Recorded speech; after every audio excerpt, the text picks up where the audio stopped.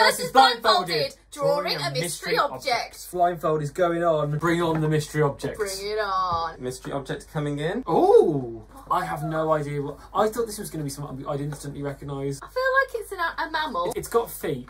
It's definitely got legs. I think I know what this might be. I think it's a dinosaur. I think it's the Loch Ness monster. Yeah, possibly. Right, but then I haven't ever seen the Loch Ness monster. I I'm going to draw the Loch Ness monster. He's got like a little pincer mouth.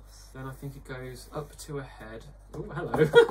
then he's got like a jagged back, but I'm going to put the jags on second. I, I think what I've put on this canvas is roughly the shape of what I could feel. I think dinosaur is probably closer than Loch Ness monster. I think he's a dinosaur. That is my David Dick. blindfolds off. Yeah. Oh! What is it? It's a Stegosaurus. Mine, Oh! mine is shockingly close, Is it? and yours, yours is not. Are we good? I'm proud of both of us for that.